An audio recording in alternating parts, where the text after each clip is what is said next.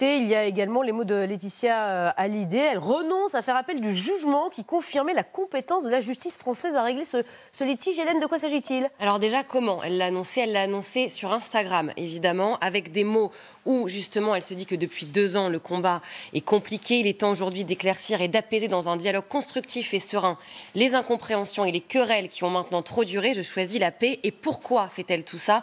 Parce qu'il faut quand même rappeler que depuis cette histoire d'héritage, donc ça fait euh, deux ans, il y a quand même eu le gel d'une partie des revenus de l'album.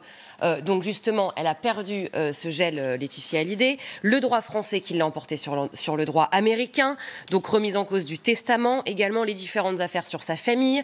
il y a eu beaucoup de polémiques, elle s'est retrouvée toute seule, il y a eu aussi des problèmes financiers pour Laetitia Hallyday, donc il était temps de réagir, il était temps de trouver une autre stratégie. Elle a commencé par un changement dans l'entourage déjà, elle a changé de manager, elle a changé d'avocat, et donc là, elle tend la main en se disant, bon, c'est peut-être comme ça aussi que je vais y arriver. C'est peut-être comme ça aussi que je vais obtenir des choses, parce que là, clairement, Laetitia Hallyday, depuis deux ans, elle n'obtient pas grand-chose, et c'est plutôt des petites victoires pour David et Laura qui sont en train de s'additionner.